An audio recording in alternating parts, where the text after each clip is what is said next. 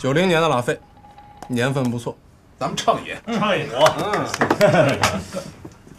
哎，对了，于途，那天我遇见一个隔壁班的，他说你去他们公司应聘了，叫我什么名来着？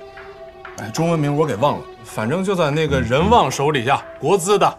哎，于途不是在航天研究所吗？对啊，对啊。所以于途，你是要跳槽啊？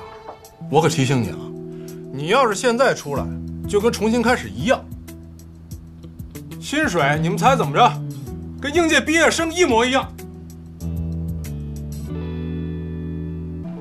我看到有个朋友对他特别不友好，说话还讽刺他，老难听了，气死我了。有困难也没事啊，好老同学，老同学帮你引荐引荐。啊？他在保密单位工作，辞职要脱密期的，你明不明白？你懂不？你不明白别乱说，你别把人夏请不来跟你约会，你回头把这点打这儿了。你别胡说八道啊！你只活三十，这话什么意思？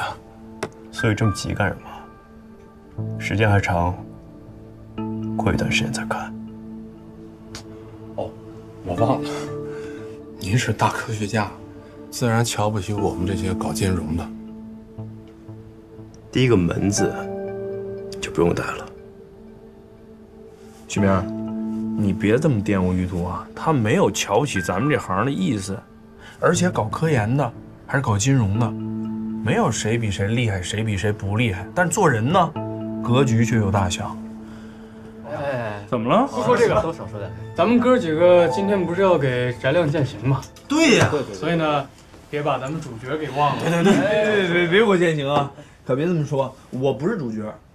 今儿这儿，取名的修场，我算是看明白，跟我没关系。什么同学聚会啊，给我践行啊，这是醉翁之意不在酒。我刚辞职那会儿，也就年薪百万。我管理那基金也就全国排名前十，我也没觉得自己了不起啊。大佬面前都是弟弟，谁都别膨胀，谁都别嘚瑟。但是就有那么一类人，赚的多那么几块钱，不知道自己是谁了，膨胀了。不是翟亮，行了行了，翟亮，您少说两句。哎，翟亮，你什么时候年薪百万了，也没见你请哥几个喝一顿啊？对，不够意思啊，是不够意思。走之前一定要给我们补上。补上，家里喝，畅饮。八九年的拉菲。哎，我们酒来了。于先生，上次您和乔姐在这边存的酒，我拿过来了。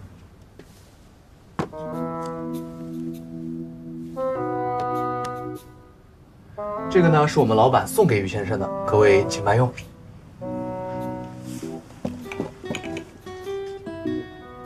先生，呃，您的酒呢，一会儿就到。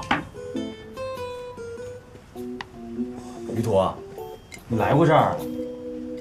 哇，诺曼尼康帝，真的假的？真上去你看呀。可以啊，于途，可以啊。你深藏不露啊。这酒多少钱？这酒起码得……